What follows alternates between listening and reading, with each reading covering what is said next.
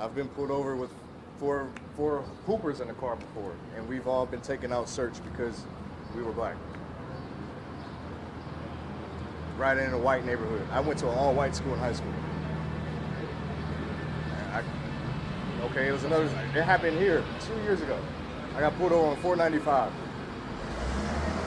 The officer asked me to step out of the vehicle. I'm literally on the side of the highway.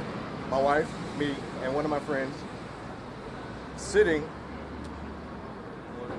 the median, I don't know what it is, the median of the highway on the side. And he comes up to me and says, What if I fuck up your Monday and put you on a headline and arrest you right now? Didn't do anything. But because I was an athlete, a black athlete driving a nice vehicle, that's what he came up with. And how am I supposed to respond to that?